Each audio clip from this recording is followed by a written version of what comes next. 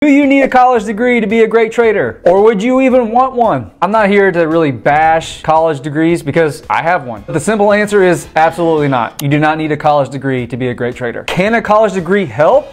Sure. Just the act of getting the college degree and completing it instills some kind of discipline in you, so that's good. I've taught and mentored some very, very, very smart people. I've mentored lawyers, folks with PhDs, engineers, accountants, but I've also mentored construction workers, folks who work in retail, small business owners. And what I have found is that sometimes the most educated people tend to have the biggest egos. Not all, some. Not only have I seen this a lot, I myself was this way too. I, along with several other people, would think, I'm a smart guy. Trading, I can figure that out. And that is the number one reason why I struggled big time when I first started. Being well educated does not guarantee you success when it comes to trading. But I have found that really leads to success in trading are how fast can you humble yourself and how willing are you to learn.